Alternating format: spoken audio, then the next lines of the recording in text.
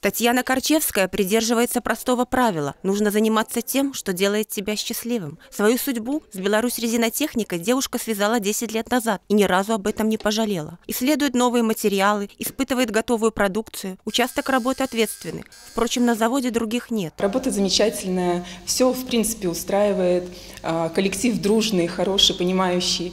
А, а в последнее время у нас еще и зарплата поднялась. Нам к Новому году даже дали а, подарки. Но так было не всегда. Еще несколько лет назад РТИ переживала не лучшие времена. Общий долг составлял почти 18 миллионов рублей. Предприятие признали экономически несостоятельным. Санация позволила отложить выплаты по основной задолженности и сосредоточиться на текущих платежах. С тех пор завод ищет эффективные стратегии для повышения показателей. И стоит отметить, не безуспешно. Цифры говорят сами за себя. Беларусь резинотехника может работать качественно, может работать прибыльно. Объем выпущенной продукции у нас на 23,1 миллиона за 2021 год. За 2020 эта цифра 17,3 миллиона, то есть рост 141%. Выручка за 2021 год составила 25,3, за 2020 17,9, рост 142,3.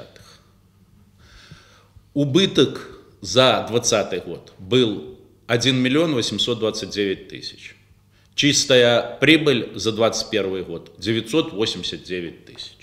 Беларусь резинотехника держит марку 70 лет. 7 февраля 1952 был основан завод натурального каучука с численностью работников 235 человек. Спустя 18 лет здесь трудилось уже 5000 сотрудников. РТИ полностью обеспечивала нужды в резиновых деталях почти всей промышленности БССР и союзных республик. Сейчас же высококачественные изделия используют в металлургии, авиастроении, деревообработке и сельском хозяйстве.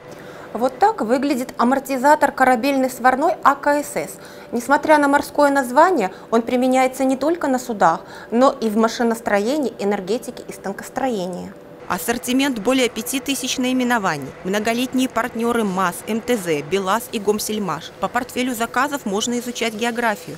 Первое место у России. На сегодняшний день доля экспорта э, в в реализации продукции составляет порядка 10-12%. Как и для большинства промышленных предприятий, 2021 оказался непростым. Пандемия внесла свои коррективы. В декабре экономический суд Могилевской области принял решение о продлении срока действия санации еще на 5 лет. В планах выход на новый технологический уровень и повышение конкурентоспособности продукции. Ставку делают на импортозамещение. Сегодня это предприятие ориентировано на крупнейшее конвейерное производство республики республики. От эффективности работы этого предприятия во многом зависит и э, своевременное обеспечение необходимыми комплектующими наших крупных холдингов республиканского значения. Юбиляров в этот знаковый день чествует руководство области и города, ведь производственные успехи были бы невозможны без главного ресурса – профессионального коллектива. Сейчас здесь работают 673 человека. У большинства только одна запись трудовой. Пришли на завод и прикипели душой. 70 лет, говорят на предприятии, тот возраст,